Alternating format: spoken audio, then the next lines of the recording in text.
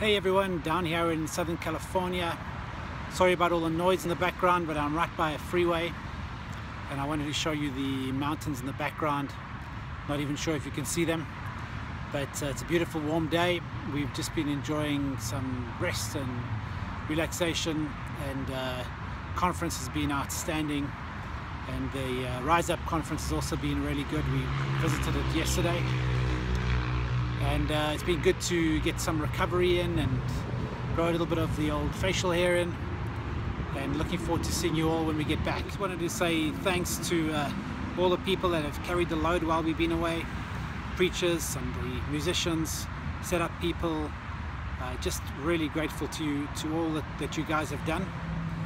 And uh, also wanted to remind you of the Doing Good series.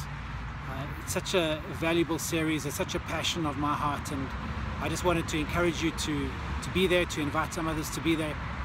You know, Galatians 6.10 says that uh, while we have opportunity in this world, let us do good to those around us. And it's not easy to know if you're doing good or not. And that's what this series is aimed at answering.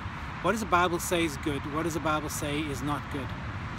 And uh, we're going to cover a lot of very controversial topics and and I pray and hope that we come out at the end of it with uh, with a much better understanding of what God has for us. And don't forget, uh, 4th of July on, uh, on Tuesday, we're going to be celebrating at the Beach Lab.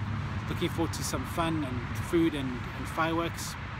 And then also my friend Ryan and his wife Shannon are here and, and they'll be running a, uh, a writer's workshop at the Beach Lab about 10 o'clock on, on Saturday.